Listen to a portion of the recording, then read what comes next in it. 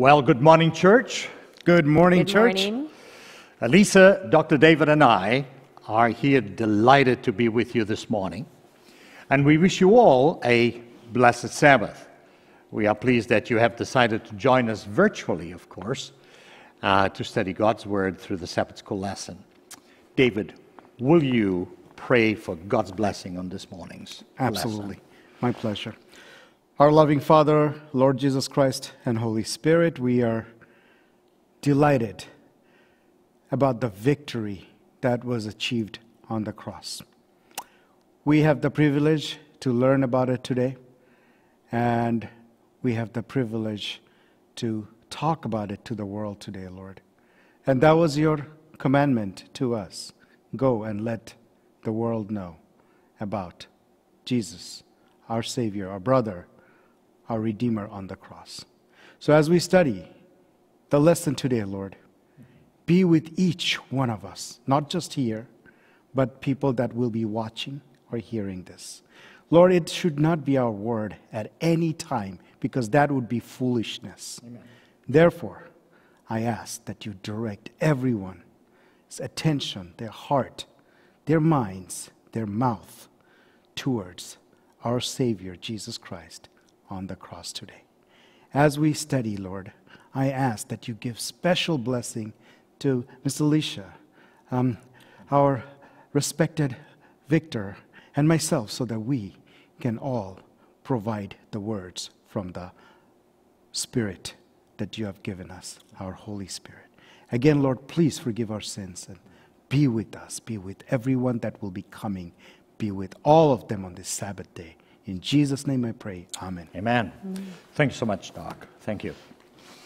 Really, this is an incredible team. I'm, I'm just delighted to be with Alysa and, uh, and with Dr. David today. The week's Sabbath, this week's Sabbath School lesson is titled, He Died for Us. Now, He died for us means that Christ died for us. So we really are going to talk about Christ's death. The key text, the memory text, is found in John chapter 3, verses 14 and 15. And uh, it's an incredible text. It actually says, And as Moses lifted up the serpent in the wilderness, even so must the Son of Man be lifted up, that whoever believes in him should not perish but have eternal life.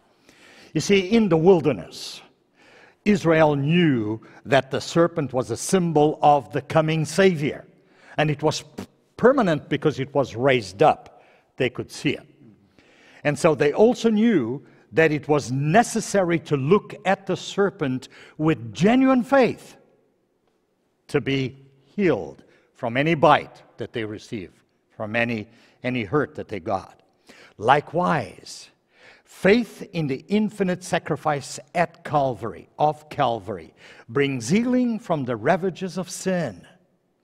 On his last day of teaching in the temple, Jesus declared in John chapter 12, verses 32, and I, if I am lifted up from the earth, will draw all peoples to myself. In the Gospel of John, the expression lifted up always refers to the crucifixion of Jesus. You can, you can also see that in John chapter 8, verses 28, and John 12, 34. All right. Let's, um, as a brief overview, as an introduction to this week's Sabbath School lesson, I want to make the, the, the, the following uh, statements and presentation. Christ's substitutionary death is the central truth of cosmic dimension. And I want you to remember that. His substitutionary death is the central truth of cosmic dimensions. Jesus Christ is the atoning sacrifice, for he died for your sins and for my sins. Paul tells us in Hebrews chapter 2 verses 17, therefore in all things Christ had to be made like his brethren, that he might be a merciful and faithful high priest in things pertaining to God, to make propitiation for the sins of the people. The Apostle John tells us in 1 John chapter 2, verses 1 and 2, we have an advocate with the Father, Jesus Christ the, the righteous. Verse 2, and he himself is the propitiation for our sins, and not for ours only, but also for the whole world. Incredible promise. The greatest sacrifice ever made was offered when the King of the whole universe came to our sinful world, lived sinless as a human person, and died for us in our place. The Apostle Paul, writing to the church of Corinth, makes it very clear that true Christianity is cross centered, has to be cross centered. 1 Corinthians chapter 2 verses 1 and 2 tells us, and this is Paul speaking, and I, brethren, he's talking to his brethren in the church of Corinth, and I, brethren, when I came to you, I did not come with excellence of speech or wisdom, declaring to you the testimony of Christ. Verses 2, he says, For I determined not to know anything among you except Jesus Christ and Him crucified. That's a challenge for you, and that's a challenge for me. Paul is stating here that the cross of Jesus is the central message that he is embraced. And he is the message that he brings to the Corinth. That's the message that he brings to the, to the church of Corinth and to Christian believers everywhere. Ellen G. White, writing in Gospel Workers, page 315, tells us the sacrifice of Christ is an atonement for sin. Uh, as an atonement for sin, is the great truth around which all other truths cluster. In order to be rightly understood and appreciated, every truth in the Word of God, from Genesis to Revelation, must be studied in the light that streams from the cross of Calvary. She goes on to say, I present before you the great grand momentum of mercy and regeneration, monument of mercy and regeneration, salvation and redemption. The Son of God uplifted, on a cross. Grand monument of mercy and regeneration, salvation and redemption. This is to be the foundation of every discourse given by our ministers. And then, writing again in Gospel Workers, page 156, Ellen White says, of all professing Christians, Seventh day Adventists should be foremost and uplifting Christ before the world. See, the death of Jesus on the cross is the foundational stone on which all biblical teachings is, um, is anchored. Jesus Christ came to this earth for manifold reasons. As an introduction to this week's Sabbath School lesson, I would like to highlight the following reasons. Christ came to redeem humanity. Christ came to this world to reveal to us the true loving character of God. Christ came to this world to defeat Satan and refute his false claim. And Christ also came to this world to prove that the first Adam could have obeyed God as Christ in his humanity fulfilled perfectly all the law and lived a sinless, a sinless holy life. Christ's resurrection is central to our faith. He came to this world to die for you and for me so that we could have an opportunity to live eternally. This week, our Sabbath school lesson focused on Christ's death and what it means for the promise of eternal life. Alysa, Scripture tells us that Christ was slain from the foundation of the world. Please review and summarize Sunday's lesson for us. Thank you, Victor. Sunday's lesson explores what the Bible says about when the plan of salvation was formed. Did God quickly devise and implement a plan to save the human family after Adam and Eve took the fruit from the forbidden tree? Or was there such a plan much earlier than that, even before the earth was created? Revelation 13:8 tells us that the lamb, Jesus, was slain from the foundation of the world. So how is it possible that Christ was slain from the foundation of the world? That implicates from before the world was created. When the Messiah didn't come until 4,000 years approximately after the earth was created. Well, before we jump into this topic, I'd like to discuss a business analogy that we may be familiar with business continuity planning. Although the analogy may be imperfect, I think we can gain some insights from this. So many businesses have a business continuity plan, and that defines how critical business operations will continue in the event of a crisis or a disaster of some nature. Such a plan is intended to minimize a financial loss and enable the business to continue to serve customers during such an event. Various disaster scenarios are typically part of such a plan. We can think of physical disasters like a fire or earthquake, cyber attacks, economic disasters, health, like you know the recent COVID um, experience we've had, other potential risks as well. Such plans are typically inclusive of processes, procedures, and what roles various people will play and what decisions they will make and, and who will make those decisions. Other such details that should be quickly enacted should such a, a disaster occur. So, although humans cannot, cannot predict the future, giving prudent forethought and planning to such unforeseen events can certainly help mitigate the negative impact of the event on the business. So, if man, in his imperfect wisdom and inability to predict the future, gives enough forethought to preserve their business, would God, who is all knowing and, and sovereign and full of wisdom, not give some forethought to his own creation and the sustainment of it? So, God, in His great wisdom and love, also devised a plan to save and reconcile His creation should they choose to transgress His perfect law. Ellen White in The Great Controversy writes The law of love being the foundation of the government of God, the happiness of all created beings depended upon their perfect accord with the service of love. He takes no pleasure in a forced allegiance, and to all he grants freedom of will that they may render him voluntary service. With this freedom of will, there is also risk.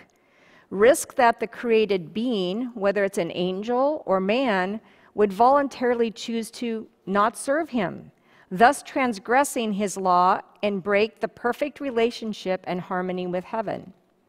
Let's read more about what the Bible says about the plan of salvation from the foundation of the world. Revelation 13:8 says, "All who dwell on the earth will worship him, whose names have not been written in the book of life of the lamb slain from the foundation of the world." So Revelation tells us that at the end of time when Christ returns, even the unrighteous will worship him. And this verse identifies Christ as a lamb that was slain from the foundation of the world.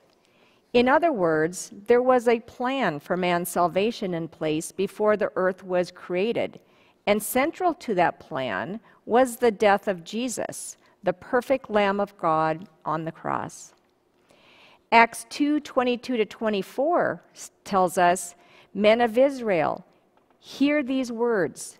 Jesus of Nazareth a man attested by God to you by miracles, wonders, and signs, which God did through him in your midst, as you yourselves also know, him being delivered by the determined purpose and foreknowledge of God, you have taken by lawless hands, have crucified and put to death, whom God raised up, having loosed the pains of death, because it was not possible that he should be held by it.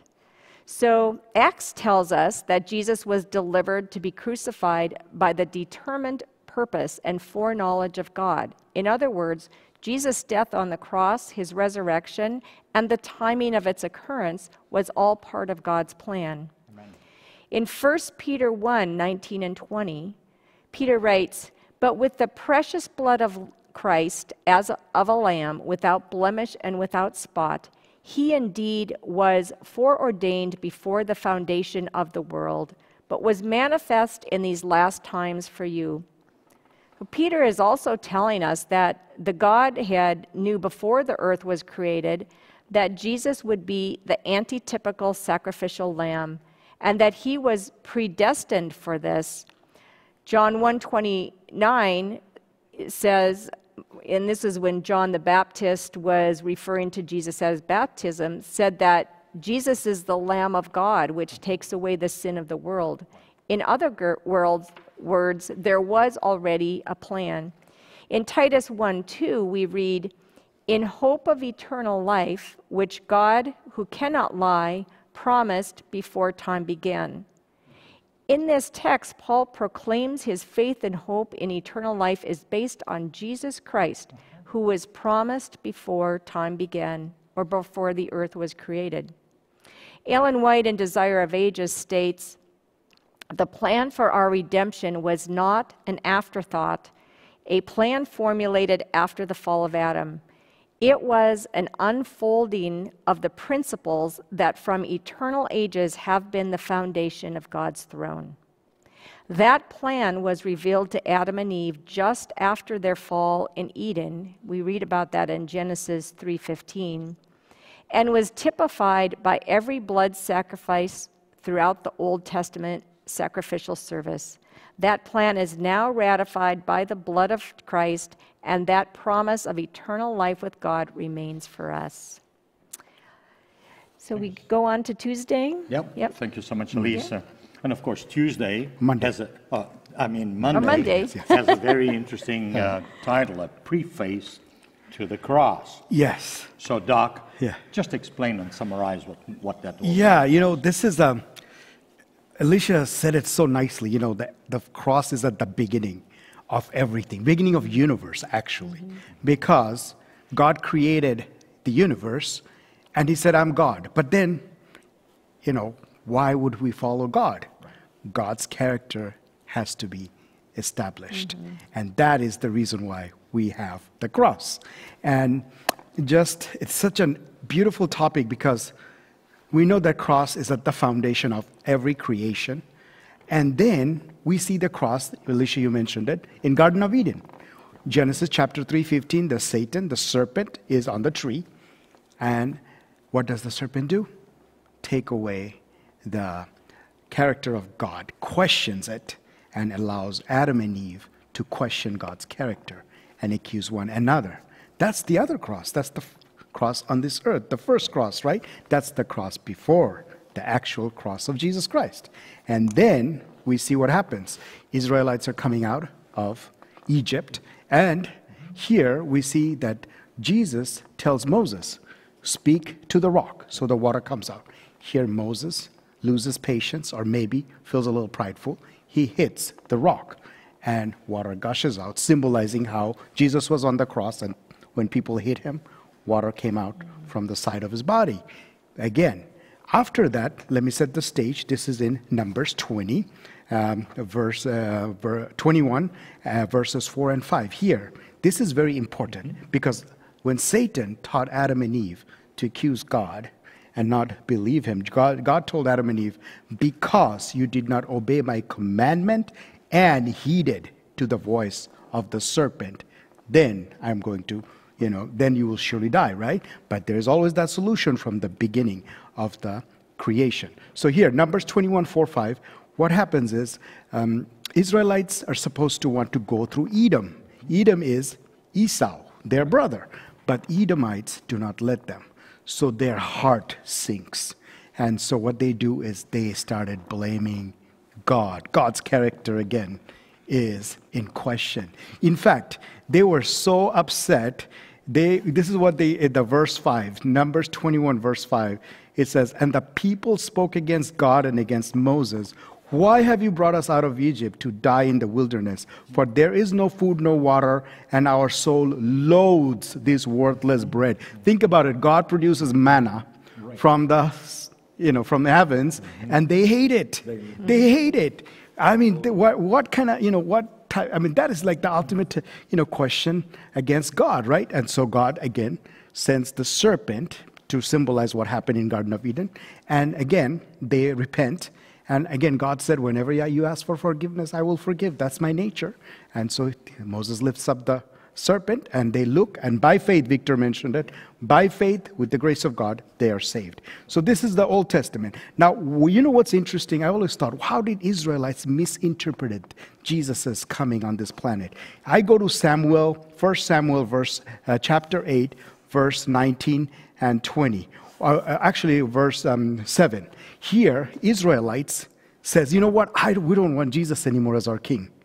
We want an actual king yep. and an actual kingdom right there, right there. So here, here, uh, verse 7 says, And the Lord told him, Listen to all that people are saying to you. It is not uh, you they have rejected, but they have rejected me as their king. Right there, rejection of Jesus Christ, the misinterpretation of prophecy. Because the Jesus came for the another world. He said, My kingdom is not here. And they missed that. And we know that in Old Testament, in Isaiah 24, God predicts that the earth is going to be destroyed, everything. In Daniel, we know, but they did not realize it because they are focused on their earth. And then God told the Israelites that they will be the light of this world, but instead, eh, they do not share God with anyone, just like a country club situation, right? Now here comes Jesus finally on this earth, right? And so Jesus, like you said, John the Baptist says, Here, I declare the Lamb of God. How much clearer can you be, right? They don't understand it because they're all focused on, oh, um, we're under Roman Empire. You know, we need to be our supreme power.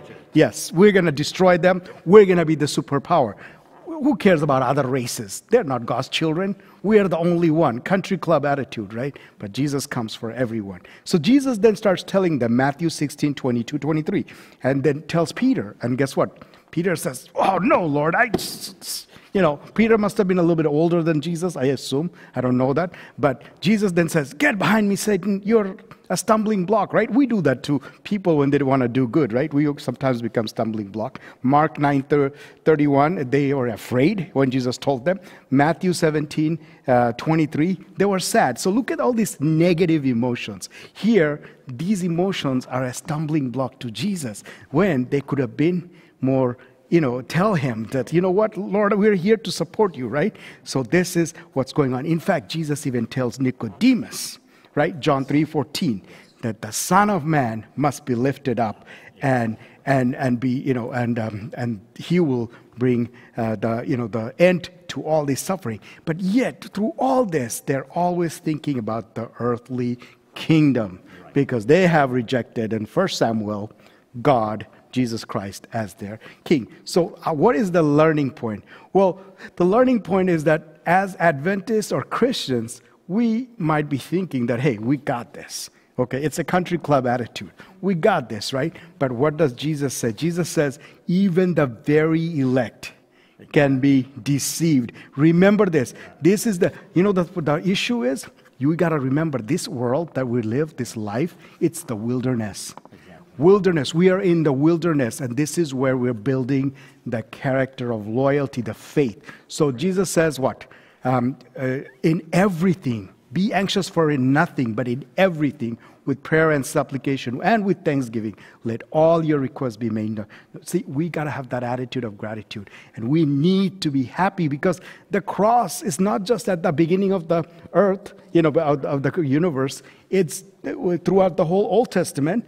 It's in when it actually happened, and Jesus said, told us to carry our cross and follow him. Now we are the cross bearer, and ultimately, He is the cross Himself. Jesus on the cross is going to come and take us to heaven. In fact, Victor, I suspect that our crown will have the cross in there with Jesus on it. That's my suspicion, you know, because what would be, in that case, I will never, ever forget that the cross is what it's all about, not just one time throughout history. So we got to remember this and share it Read the Bible daily because in Psalms 4 5 it says, Psalms chapter uh, 4, verses 4 and 5, it says, uh, Be angry and do not sin. Meditate within your heart and be still. Offer the sacrifices of righteousness and put your trust in the Lord. And that is the cross. Cross is there for us. Why?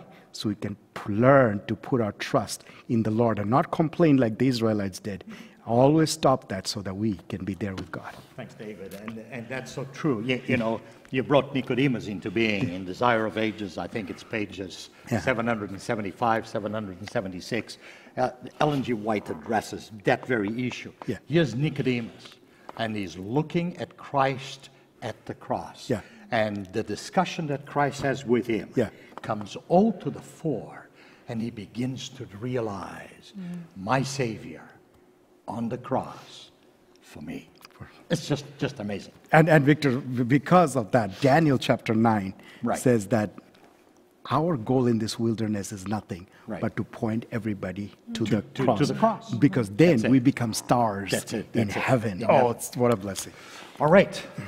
So far, so good. I hope that you have uh, enjoyed our discussion, our explanation of the lesson to date. I'm going to um, um, explain a little bit of, of Tuesday, and I'm going to provide quite a lot of information. I'm hoping that you've studied the lesson because I'm not going to make any reference to what's in the lesson.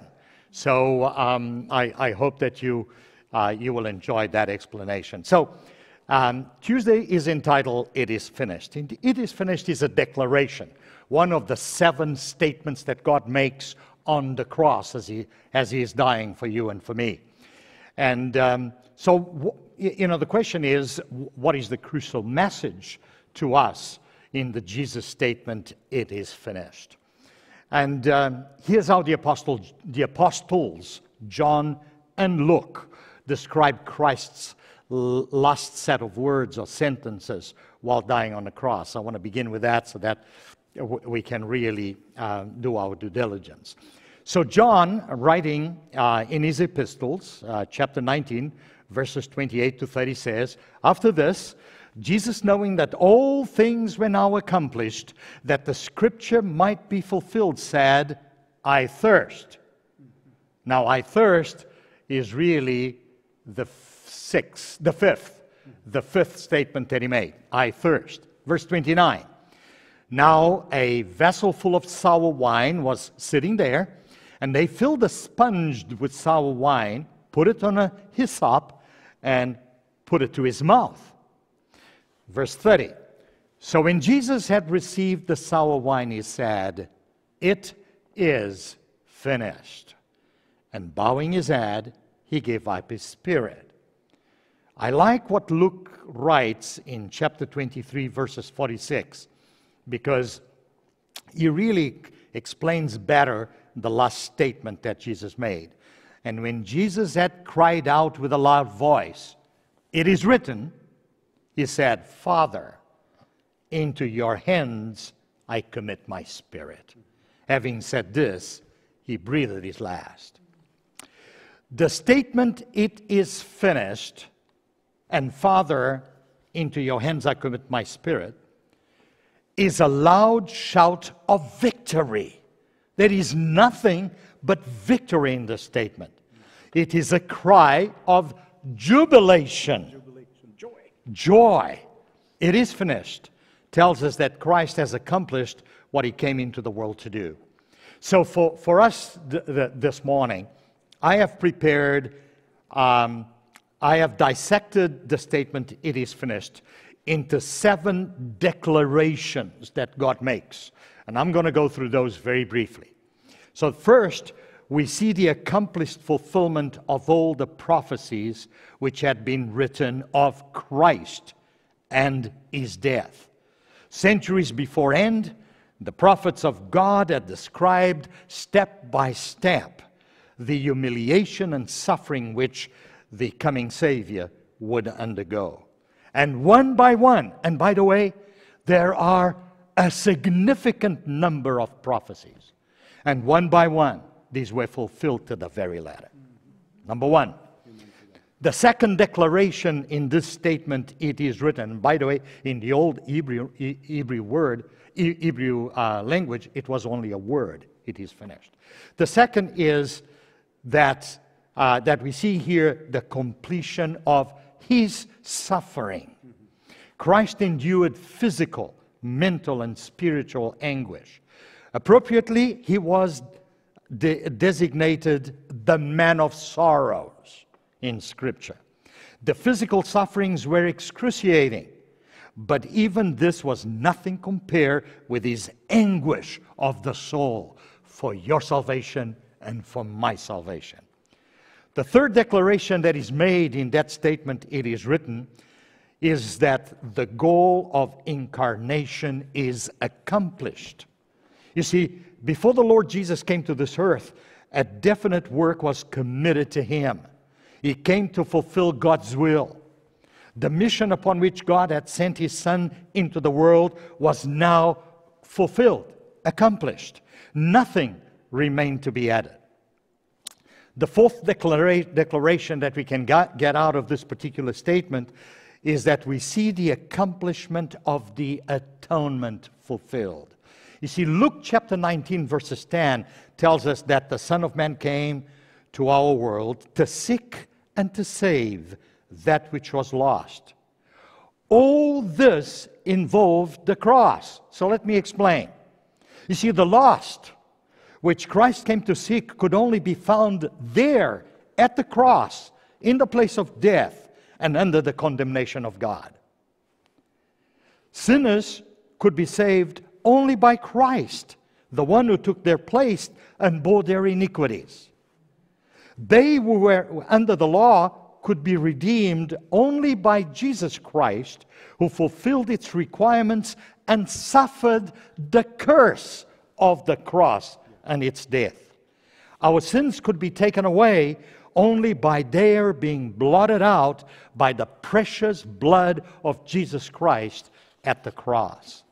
You see, the fifth declaration that is made with that, st- that particular statement says that the, sin, the, the cleansing of the sins was totally fulfilled. The sins of the believer, all of them were transferred to the Savior. Scripture tells us in Isaiah chapter 53 6, the Lord has laid on him the iniquities of, of us all. If God laid my iniquities in Christ, they are no longer in me. When the sinner believes in the Lord Jesus and receives him by faith as his Lord and Master, he is no longer under condemnation. Sin is no longer on him. The guilt, the condemnation, the penalty of sin is no longer on you and on me when you know that your sins have been, have been forgiven. The sixth declaration with that statement is that the fulfillment of the law's requirement is complete. Not only did the Savior keep the precepts of the law, but he also suffered its penalty and endured its curse. We have broken the law, and taking our place, Jesus Christ received, uh, received its just sentence, death, on your behalf and my behalf. And then finally, we see in this statement, it is finished the destruction of Satan's power. The cross sounded the death knell of the devil's power. To human appearances, it looked like the moment of his greatest triumph, and I'm talking about Satan's. Yet in reality, it was the hour of Satan's ultimate defeat, and what a joy. In the context of the cross, the Savior declared in John 12 31, now is the judgment of the world, now is the ruler of this world, uh, uh, of this world will be cast out. So it is finished. This was not a cry of despair from an helpless martyr. It was not a last grasp of a worn out life of Jesus. No, this was a declaration on the part of the divine Redeemer that all for which he came from heaven to earth to do was now done. That all that was needed to reveal the full character of God had now been accomplished. That all that was required by the law before sinners could be saved had now been performed. And that the full price of our redemption was now paid for. On that cross, as our Savior breathed his last, the curtain of the temple, which for centuries had symbolized the alienation of sinners from God, was torn in two from top to bottom, in order to demonstrate that the sin barrier had been removed by God so that the way into his presence was now open. 36 hours later, God raised Jesus from the dead. He was he who had been condemned for us in his death was publicly vindicated in his resurrection. It was God's decisive demonstration that God had not died in vain. It is finished. In this statement, in this word, is contained the ground, the foundation of the believer's assurance. It is, his, is discovered the sum of all joy and the, and, the, and the very spirit of all divine consolation. At the cross, we see God's grace. At the cross, the Son is magnified. At the cross, the foundation was laid to make this possible, to make it happen. Alysa, what has Christ's death accomplished for us? Thank you, Victor. That was a, a really great segue to the topic we're going to explore here. A couple key questions we'll talk about is why did Christ have to die for us? And what did his death accomplish? And then finally, what hope does that ha- his death have for us today? So in John 3 14 through 18, I know uh, probably all of us are, are, familiar with at least part of this, but it's, it's definitely worth reviewing again here. It says, And as Moses was lifted up by the serpent in the desert, excuse me, as Moses lifted up the serpent in the desert, even so must the Son of Man be lifted up, that whoever believes in him should not perish but have eternal life. For God so loved the world that he gave his only begotten Son, that whoever believes in him should not perish but have everlasting life. For God did not send his Son into the world to condemn the world, but that the world through him may be saved. So, according to this text, it was necessary for God Himself, in the person of His Son, to die for sin, the sin of the whole world. Only the blood of Christ the death of the lawgiver and creator of the world could satisfy the penalty of sin and cover iniquity of fallen humanity in his own righteousness. The text tells us that God so loved us that he willingly paid this high price, that if we believe in his Son, we will not perish, but will have eternal life in God. If we accept Christ as our Savior, his blood is applied to us as a substitution for our guilt and transgression. God is unwilling that any should be condemned, but that we all may be saved through his Son. Ellen, White's, Ellen White writes in Letter 43, 1895 The scheme of redemption far exceeds the comprehension of the human mind. The great condensation on the part of God is a mystery that is beyond our fathoming. The greatness of the plan cannot be fully comprehended, nor could infinite wisdom devise a plan that would surpass it. It could only be successful by the clothing of divinity with humanity, by Christ becoming man and suffering the wrath which sin has made because of transgression of God's law. Through this plan, the great, the dreadful God can be just and yet be the justifier of all who believe in Jesus and who receive him as their personal Savior.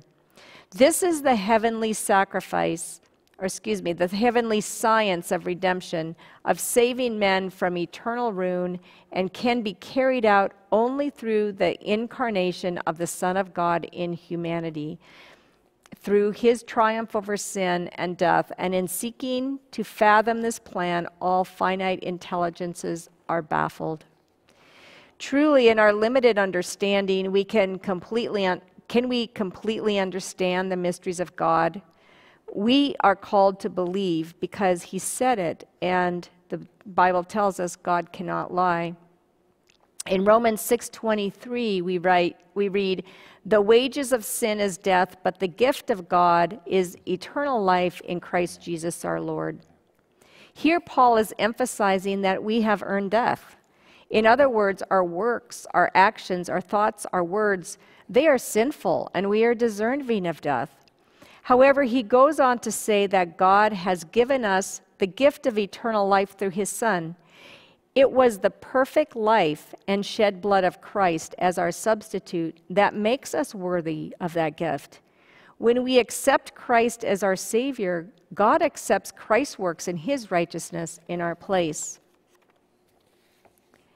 Although we deserve to be condemned, God has made it possible for us to have redemption. The Bible tells us that Christ, who is the one who created all things, voluntarily offered himself as our substitute. In Hebrews 9 13 and 14, we read, For if the blood of bulls and goats and the ashes of a heifer, sprinkling the unclean, sanctifies for the purifying of the flesh, how much more shall the blood of Christ, who through the eternal Spirit offered himself without spot to God, cleanse your conscience from dead works to serve the living God? Furthermore, Christ's sacrifice is sufficient for all and never loses its power. In Hebrews 10 9 to 12, comparing Christ's sacrifice to the Old Testament sacrificial system, Paul writes, Then he said, Behold, I have come to do your will, O God. He takes away the first, that he may establish the second. In other words, Jesus is the antitype of the Old Testament sacrificial service. And then he goes on to say, By that will we have been sanctified through the offering of the body of Jesus Christ once for all. And every priest stands ministering daily and offering repeatedly the same sacrifices, which can never take away sins. But this man, Jesus, after he had offered one sacrifice for sins forever, sat down at the right hand of God. Exactly. How personal is Christ's sacrifice to you? Do you wonder whether your sins can truly be covered by Christ's blood and that God cares whether or not you're saved? Ellen White in Ministry of Healing writes If but one soul would have accepted the gospel of his grace, Christ would, to save that one, have chosen his life of toil and humiliation and his death of shame. And furthermore, in Desire of Ages, she writes, By his life and his death, Christ has achieved more, even more than recovery from the ruin wrought through sin. It was Satan's purpose to bring about an eternal separation between God and man. But in Christ, we became more closely united to God that if we had never as if we had never fallen in taking our nature, the Savior has bound himself to humanity by a tie that is never to be broken. So we are not forgiven just because God loves us. Rather, God sent his Son to die in our place because he loves us. So God can forgive sin only because of the death of Christ that takes away the sin of the world. Amen. Amen. Thanks so much, Alysa. What a and I hope, I hope that we can see that. David, yes.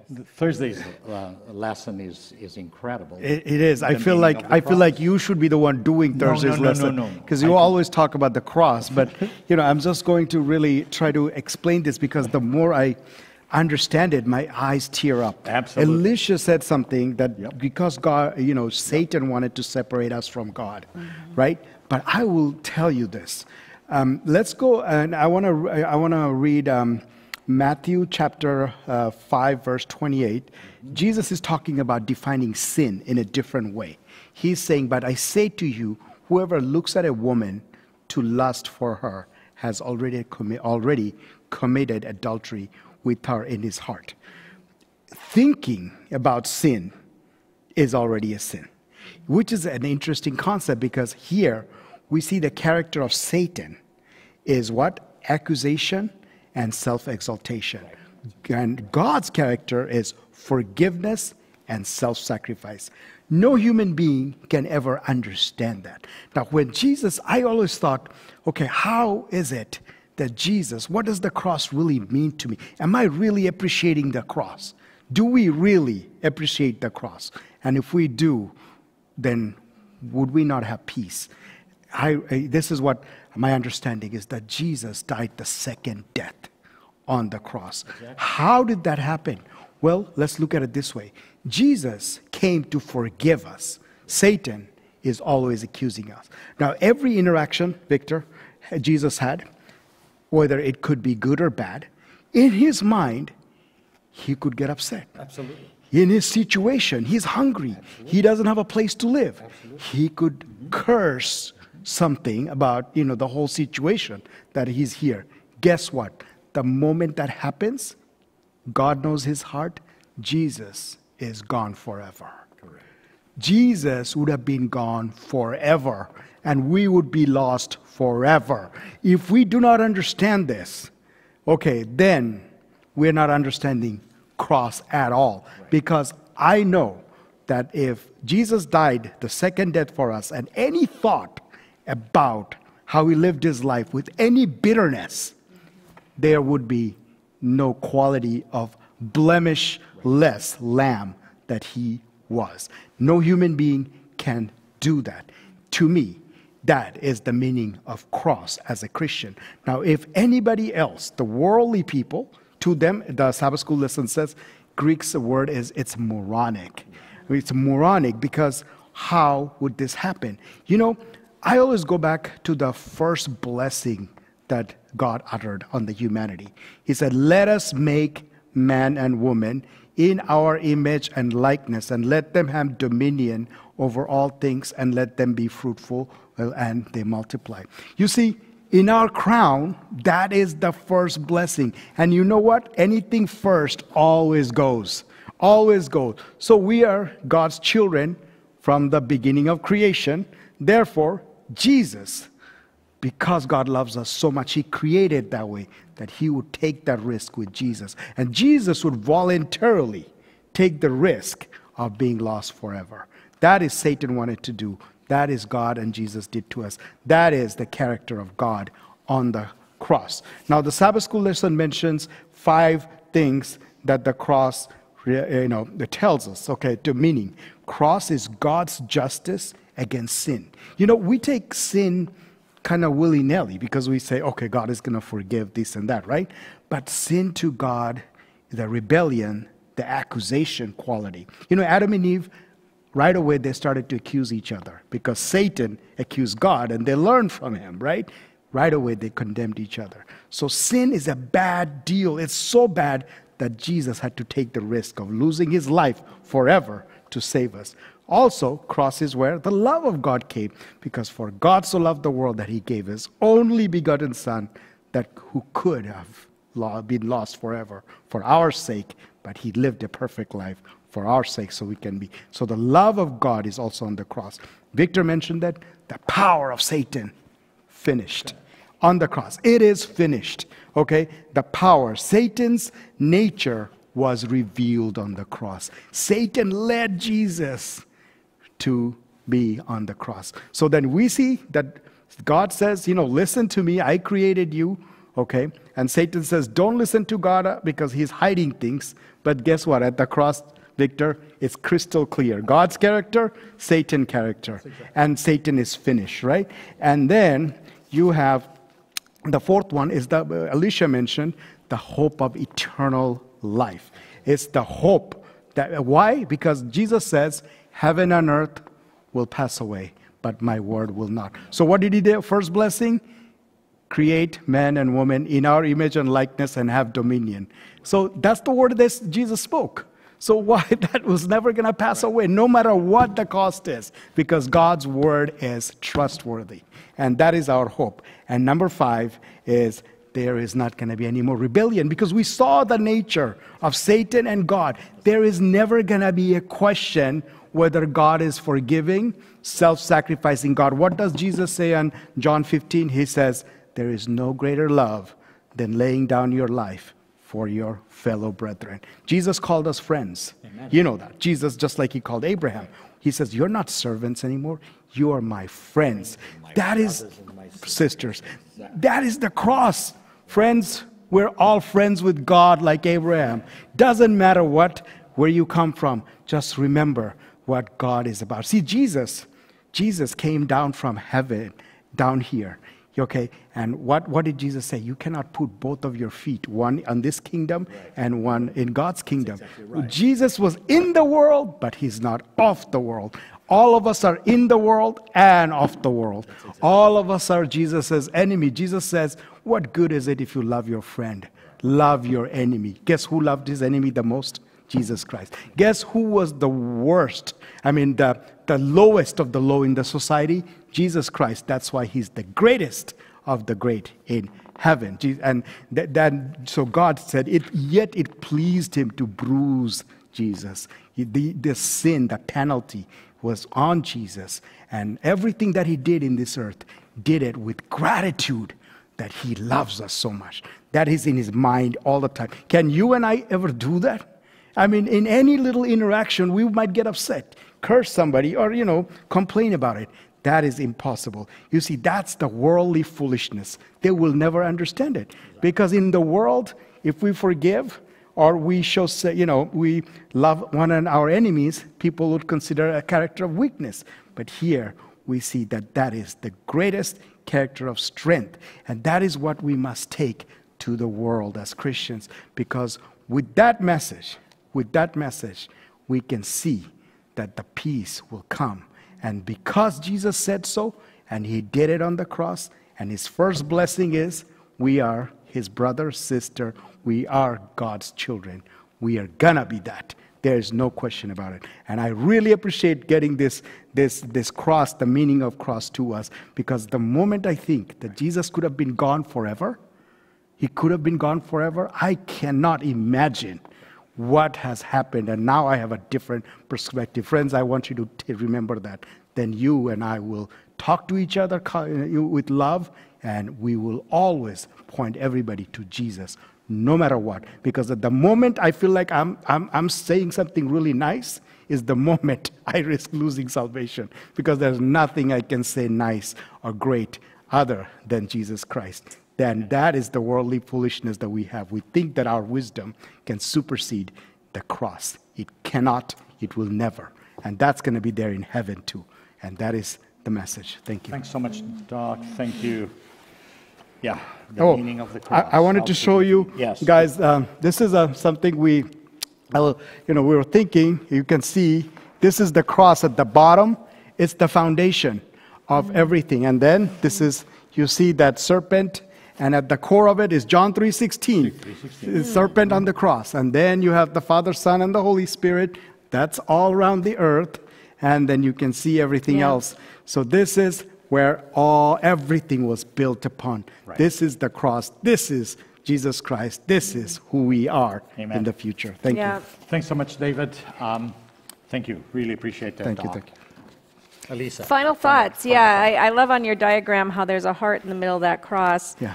You know, as Adventists and as Christians, we we, we, we talk a lot about God's love, yeah. and right, rightly so, because the Bible says, you know, we love Him because He first loved us. Yeah.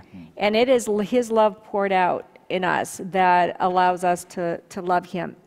We also, in, in Christianity, at least in mainstream Christianity, talk a lot about His resurrection because it's a very celebratory event, mm-hmm. right?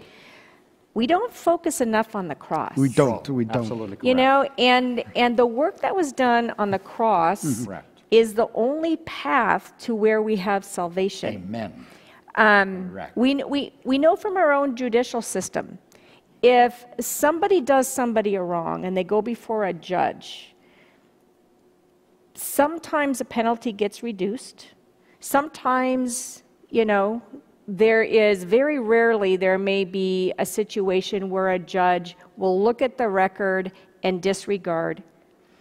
Generally, there is a consequence. And, and certainly there's always a consequence, whether the degree of how big that consequence is. Yeah. And why is that so?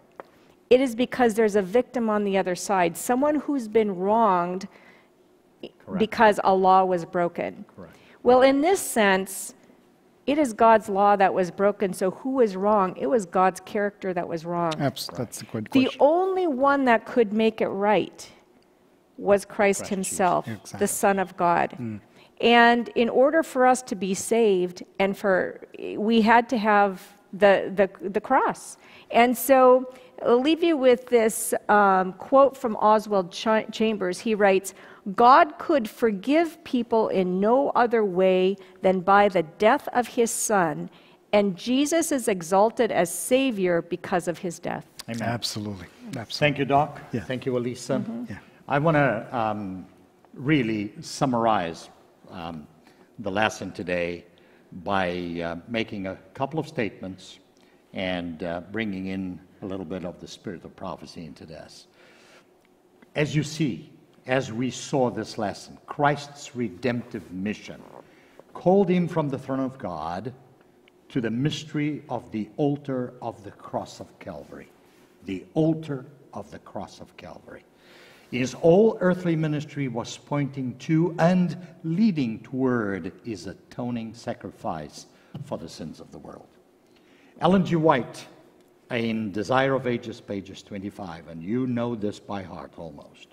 I, I'm, I'm hoping that you do know it by heart. She makes the following statement. So, Desire of Ages, pages 25. Christ was treated as we deserve, that we might be treated as he deserves. He was condemned for our sins, in which he had no share, that we might be justified by his righteousness, in which we had no share. He suffered a death which was ours, that we might receive the life which was his. Thus, with his stripes, we are healed. Ellen White goes on to say, by his life and his death, Christ has achieved even more than recovery from the ruin wrought through sin. Mm-hmm. It was Satan's purpose to bring about an eternal separation between God and man. But in Christ, we became more closely united to God than if we had never fallen. And pay attention to this statement. In taking our nature, the Savior has bound himself to humanity by a tie that is never to be broken. Hallelujah. Hallelujah. No wonder that the Apostle Paul could say boldly, as we read in Galatians chapter 6, verses 14, But God forbid that I should boast except in the cross of our Lord Jesus Christ, by whom the world has been crucified to me and I to the world. At the cross, you and I were crucified with Christ. Thus we have rejected the world as unworthy. And yes, just as we have been rejected or been rejected unworthy by the world. Likewise, as we read in Revelation chapter 5, verses 12, the heavenly hosts said with a loud voice, Worthy is the Lamb that was slain to receive power and riches and wisdom and strength and honor and glory and blessings. Mm-hmm. This is our this is our God. This is- and of course, I'm looking Hallelujah. forward to be part of the multitude. The multitude of the redeemed will also cry out with a loud voice, as we read in Revelation 7, twe- se- uh, Revelation chapter 7, verses 10. Salvation belongs to our God who sits on the throne and to the Lamb.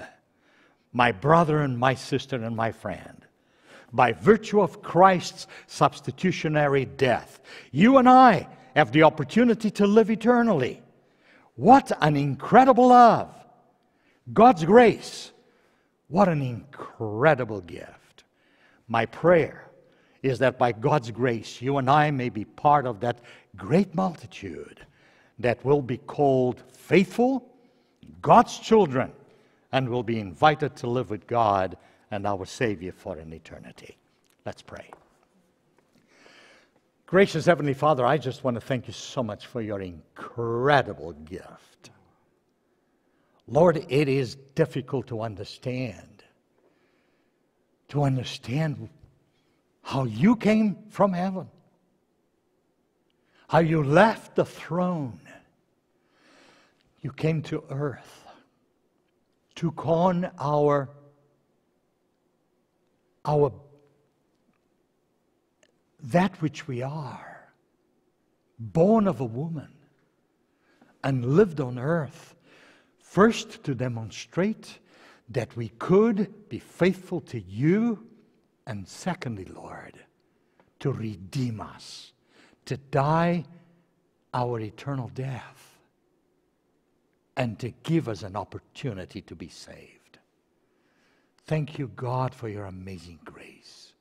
Lord, I pray that you prepare us every day to die for self because on that cross, I died with you, Lord, and so did we.